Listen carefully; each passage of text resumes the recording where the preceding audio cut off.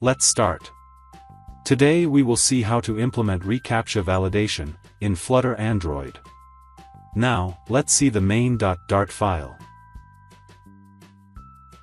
These are the imports.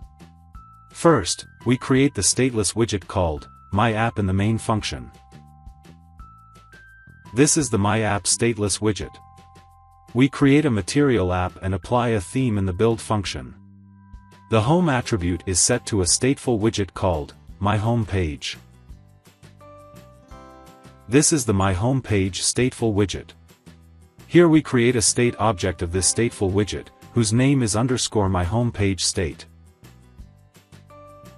This is underscore My Home Page state class, here we will design our app. These are the data members. In the init function, we call the build captcha function. This is the build captcha function. Here we build a random captcha text of 6 characters. In the build function, we have a scaffold widget upon which we will build other widgets. The app bar attribute is set to the app bar widget.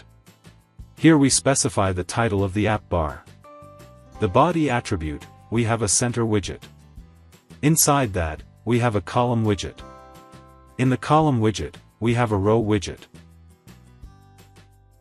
The first element of the row is a container. Here we create a text view in which the CAPTCHA will be shown. We draw a nice border around it, so it looks like a tile or a card. The second element of the row is an icon. Here we have a refresh icon. When this icon is pressed, the build CAPTCHA function gets called. And that will generate a new CAPTCHA text for us. Then in the main column, we have a container. Here we will build a text field where the user can type the CAPTCHA text that he sees above. And below that, we have an elevated button.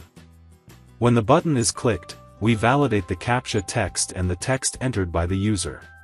So here we define if the user has typed the CAPTCHA correctly or not, and create some result text as shown. And below that, we have a text widget. If the user has typed the correct CAPTCHA or the wrong CAPTCHA, that respective result will be shown here. Let's run the app.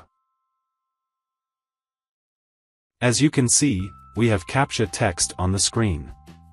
When I click the refresh button, we get a new CAPTCHA. If I type the CAPTCHA correctly, we get a verified signal.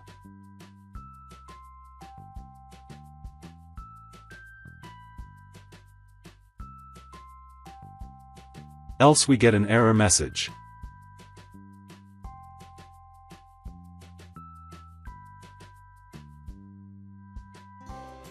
So that's it.